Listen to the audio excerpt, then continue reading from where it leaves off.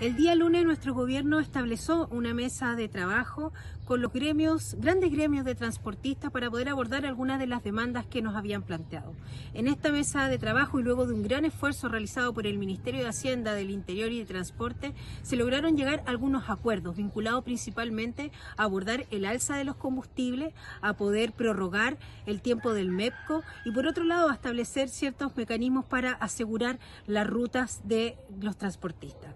Eh, cada una de estas medidas en beneficio de todos los chilenos y chilenas de nuestro país. Sin embargo, durante estos días hemos observado como algunos de los gremios que fueron parte de estas negociaciones han desconocido el acuerdo, impactando también directamente a la cotidianeidad de los ciudadanos y ciudadanas de nuestra región. En ese sentido, queremos ser muy claros. Como gobierno vamos a seguir insistiendo en los espacios de diálogo, estamos disponibles para poder abordar las distintas eh, dificultades y las distintas preocupaciones que hay.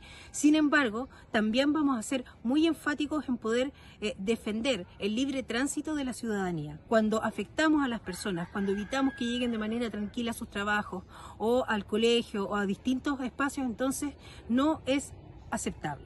Eh, en ese sentido quiero ser muy clara. Como gobierno insistimos en el diálogo, pero también vamos a, a, utilizar todos los mecanismos que tengamos disponibles para asegurar el libre tránsito de todos y todas en la región de Valparaíso.